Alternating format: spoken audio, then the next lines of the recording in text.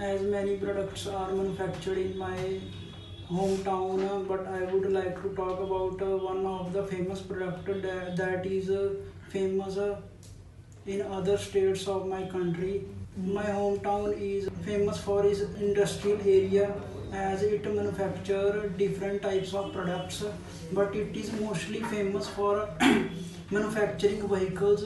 One of the man who, whose name is raman he is famous for manufacturing jeeps which is which are quite popular among people. Even uh, people from different villages come in my village to buy that vehicle and that vehicle is quite famous for its average and good looking body.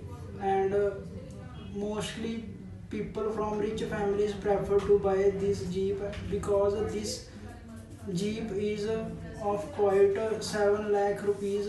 Jeeps has become brand in my country and people from different states come to buy these so that they can get a good product which can be value for their money. Design and performance of this product is quite good. As a consequence people prefer to buy this product more and more. Even this product is famous among different states of my country